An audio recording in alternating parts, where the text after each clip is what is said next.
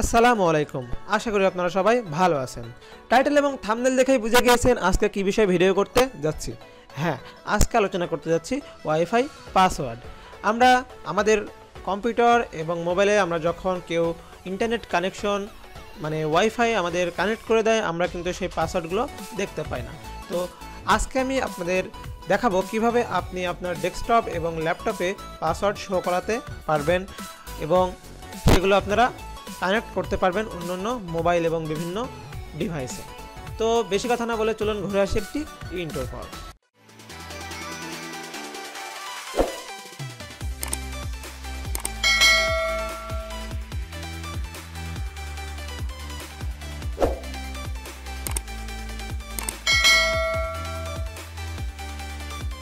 Welcome back.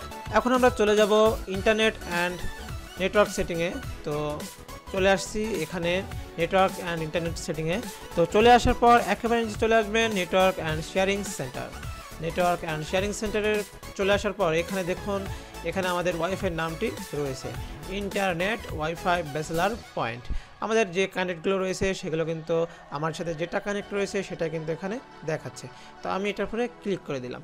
Click করে দেওয়ার পর এখানে ওয়ারলেস প্রপার্টিসে ক্লিক করে দেবেন। ক্লিক করে দেওয়ার পর সিকিউরিটি সিকিউরিটি ক্লিক করে দেওয়ার পর এখানে কিন্তু পাসওয়ার্ড রয়ে গেছে। আহা, কি মজা! তো এখন আপনারা সিকিউরিটি চলে আসবেন, আমি কিন্তু এটা রিমুভ করে দিলাম। তো আবার আমি ক্যান্সেল করে দিই, আবার ওয়ারলেস প্রপার্টিসে আসবেন সিকিউরিটিতে যাবেন। শো পাসওয়ার্ড তো ওকে পাসওয়ার্ড কিন্তু অলরেডি আমরা দেখতে পাচ্ছি। এভাবে কিন্তু আপনারা দেখতে পারবেন। তো ভিডিওটি এ পর্যন্তই ছিল।